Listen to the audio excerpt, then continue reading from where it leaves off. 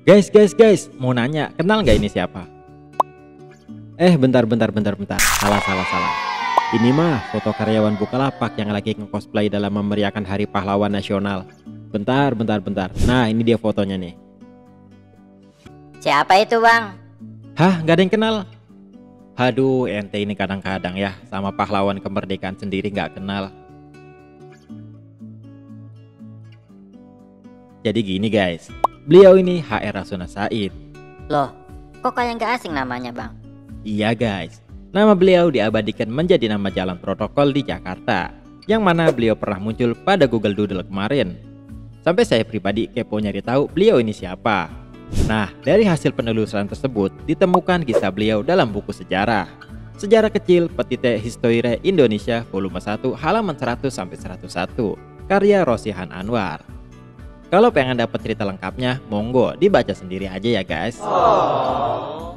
Ya udah, daripada berlama-lama kebanyakan bercanda, kita langsung aja masuk ke sejarah beliau. Ini dia.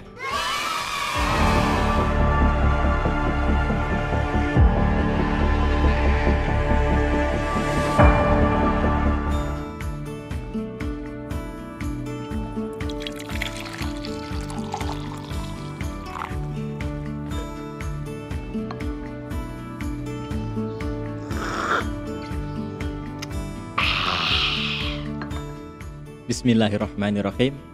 Assalamualaikum warahmatullahi wabarakatuh. Halo, apa kabar dulu semua? Semoga sehat selalu.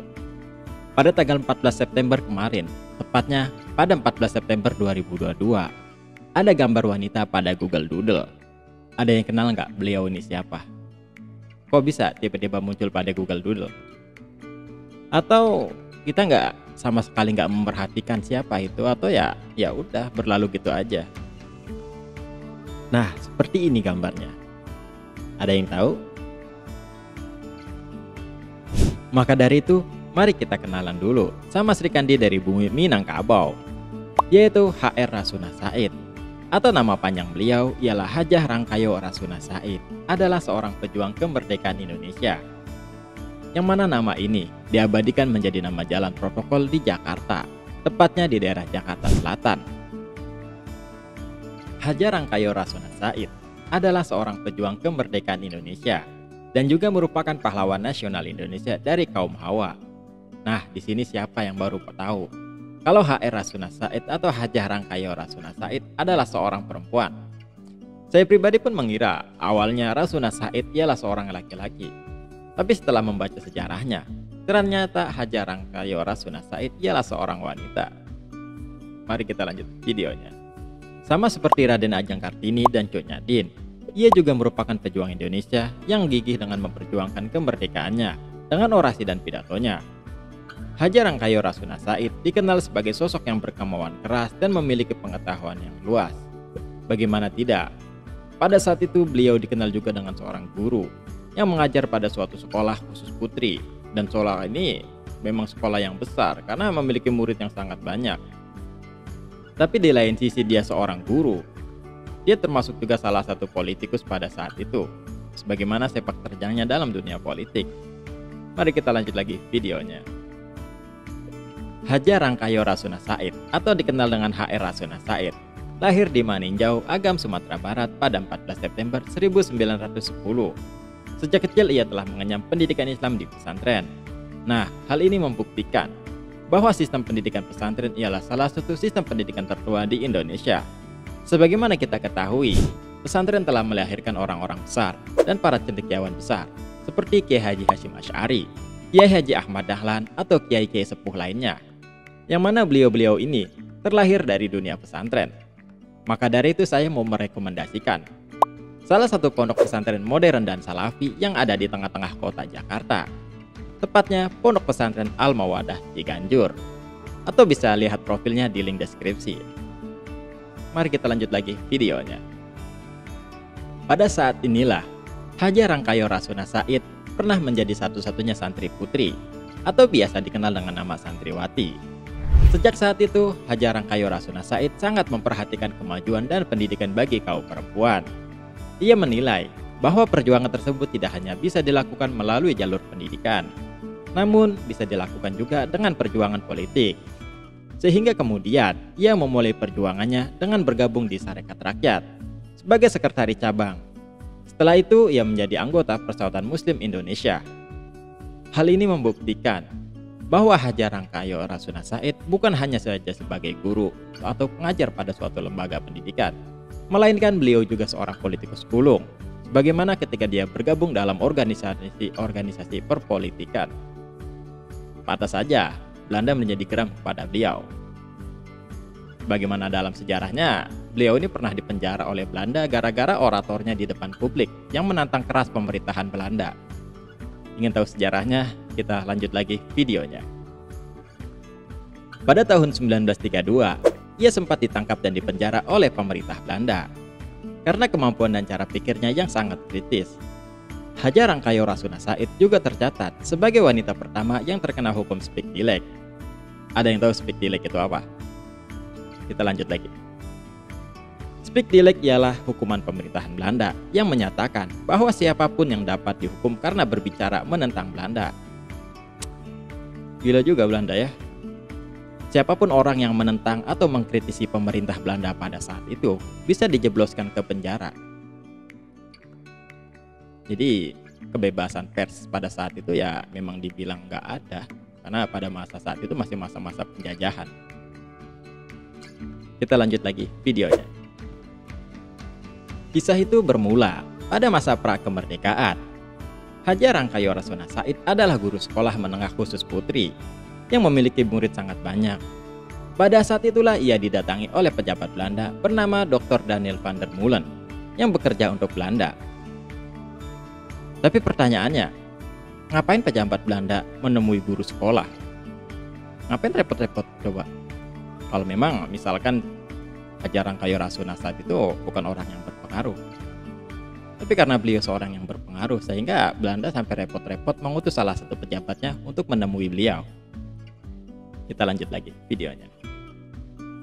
Hal ini diakibatkan oleh Hajar Rangkayo Rasuna Said yang sering dikenal dengan pidatonya yang berapi-api di publik dan menentang pemerintahan Belanda dalam obrolan tersebut, Dr. Daniel van der Molen menyampaikan bahwa orasinya di publik tentang pemerintahan Belanda sangat berbahaya dan bisa berdampak hukuman kepada Hajar Rangkayo Rasuna Said dan menyarankannya untuk menjauhi hal-hal itu dan cukup mengajar saja di sekolah.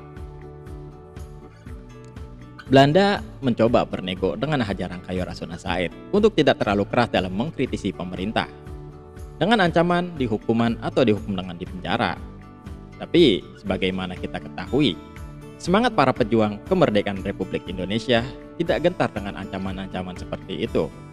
Seperti kita ketahui, banyak sejarah-sejarah para pahlawan Indonesia seperti Bung Karno, Bung Hatta, dan lain sebagainya. Yang namanya keluar masuk penjara atau diasingkan oleh pemerintah Belanda itu bagi mereka ya sudah hal biasa. Jadi kita sebagai generasi penerus harus tetap semangat dan berjuang mempertahankan kemerdekaan kita jangan sampai terjajah lagi. Kita lanjut lagi videonya. Padahal pada saat itu, Hajar Rangkayo Rasuna Said masih terbilang sangat muda, tapi sudah berani mengkritisi pemerintah saat itu. Hal ini membuktikan bahwa HR Rasuna Said atau Hajar Rangkayo Rasuna Said memiliki tekad yang kuat dan mental yang tangguh. Karena pada zaman Belanda, siapa yang melawan akan dijebloskan ke penjara atau diculik atau ya dihilang secara tiba-tiba. Mendengar hal itu, Hajar Rangkayo Rasuna Said bukannya takut dan malah semakin tegas dan gencar menyuarakan perjuangan rakyat Indonesia. Dan ia menolak saran dari pejabat Belanda tersebut. Karena ia paham perjuangannya ialah sebagai jihad visabilillah, memperjuangkan kemerdekaan Indonesia, sebagaimana yang diajarkan oleh para guru-gurunya. Kubul waton minal iman, karena hal itu pula, Belanda semakin geram dengan apa yang terjadi. Dan akhirnya Hajar Rangkayo Rasuna Said ditangkap dan dijebloskan ke penjara wanita yang di Semarang. Lalu kemudian pada masa penjajahan Jepang, Hajar Rangkayo Rasuna Said merupakan salah satu pendiri organisasi pemuda Nippon Raya. Dalam karir politiknya, Hajar Rangkayo Rasuna Said pernah menjabat sebagai DPR RIS, yaitu Dewan Perwakilan Rakyat Republik Indonesia Serikat dan tahun kemudian menjadi anggota Dewan Pertimbangan Agung sejak tahun 1959 sampai meninggal. Jadi beliau ini di masa muda hingga akhir hayatnya berjuang mempertahankan kemerdekaan Indonesia, baik itu dengan jalur orasi atau dengan jalur politik. Namanya sekarang telah diabadikan, menjadi salah satu nama jalan protokol di Jakarta. Kalau kita menuju arah Kuningan atau dari arah uh, Ragunan ya, dari arah Ragunan menuju pusat, pasti kita melewati jalan Rasuna Said. Ya, mungkin kebanyakan orang mengira kalau Rasuna Said ialah seorang laki-laki. Ini suara ayam. Lanjut lagi ya. Ya mungkin kebanyakan orang mengira Rasuna Said itu seorang laki-laki. Tapi setelah kita baca sejarahnya dan kita buka buku-bukunya Hajar Rangkayo Rasuna Said ialah seorang wanita Jika kita belajar lebih banyak sejarah tentang perjuangan-perjuangan bangsa Indonesia Baik yang namanya dikenang atau yang namanya hilang di telan tanah Perjuangan kemerdekaan Indonesia bukan hanya saja disponsori oleh laki-laki Tapi disponsori oleh juga para kaum wanita yang dengan gigih berani mensupport perjuangan suaminya dalam menegakkan kemerdekaan Indonesia. Dan tidak jarang, para perempuan tampil di depan publik. Seperti Kemala Hayati, Cut Nyadin, Rahma El Yunusia, Yai Ahmad Dahlan, dan masih banyak lainnya.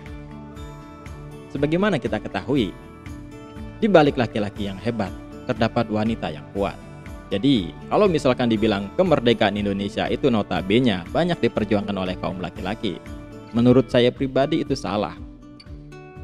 Karena di balik laki-laki tersebut atau di balik para pejuang laki-laki tersebut ada istri-istri mereka yang mendukung segala perjuangannya, terutama perjuangan mental melawan penjajahan Belanda. Demikian sejarah Hajar Rangkayo Rasuna Said yang telah kami rangkum. Semoga pahlawan-pahlawan kita mendapatkan segala kebaikan di alam tidurnya yang panjang. Semoga Allah mengampuni segala dosa-dosanya dan kuburnya dijadikan dari taman-taman surga. Dan pesan untuk kita semua sebagai generasi penerus harus terus melestarikannya. Jangan lupa share, like, dan subscribe channel kami agar terus memberikan informasi-informasi yang menarik. Wassalamualaikum warahmatullahi wabarakatuh.